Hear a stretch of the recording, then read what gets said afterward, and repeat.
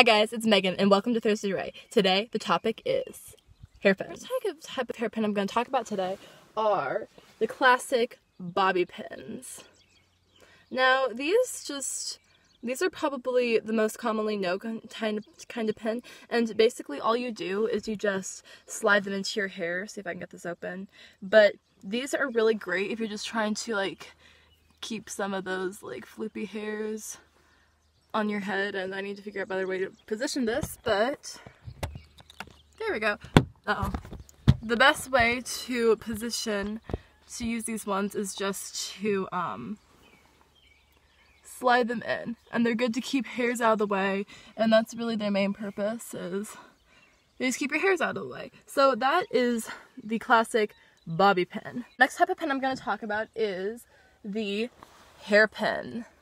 Now these ones are a little bit different compared to the bobby pin. The bobby pins are closed, are a lot closer together, and the hair pins, they're wider apart. So, here's a visual of what they look like. Now, the hairpins have a tendency to lose the protective coating on the ends. And you see here, this is one that's lost it. These ones really hurt to put in your hair, so just throw those away. But this is what they should look like. And the, see, they have the ends on there. And the ones that don't look like this. So these ones are bad. These ones are good. Now, when do you use the hairpin?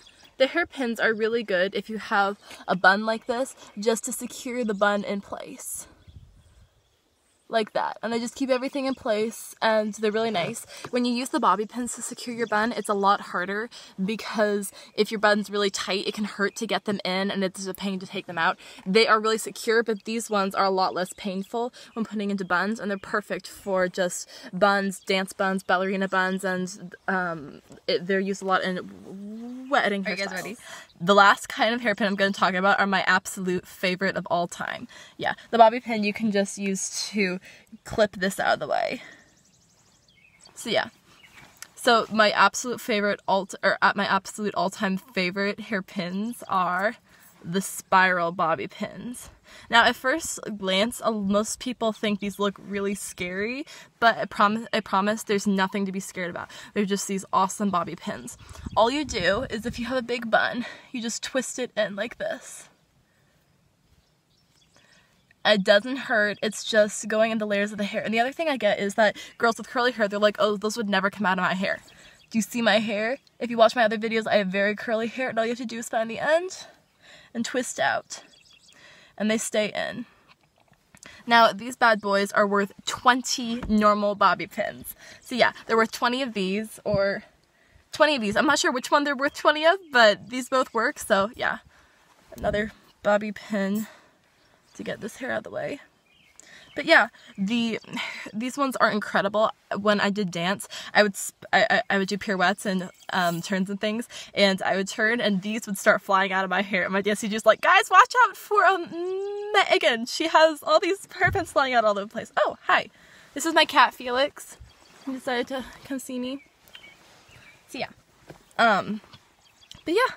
So these ones are incredible. Or I'm sorry, these ones they stay in my hair when I did dance.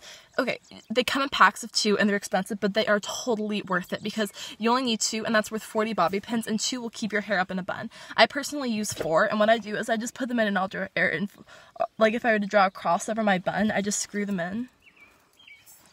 And so yeah, just put it in, kind of get the top and the bottom of the hair of the bun and then just twist. And back here. And back here. And then voila, your hair is ready to dance and it's not going to fall out. I already had a couple pins in there and I think I just had the bobby pins because when you do have curly hair, the bun's looser and there's not as much hair so it's easier to get away with using the bobby pins and I tend to find they hold a little better. But if you have straight hair, it's going to be a lot less painful if you use the hairpins. So that is it for my bobby pin rave. I hope you enjoyed this clip, and if you did, please subscribe below and um, catch all, all of my, my, my other videos. So, until next time, this is ThursdayRae, and be true to you. Bye, everybody. Say bye. Bye.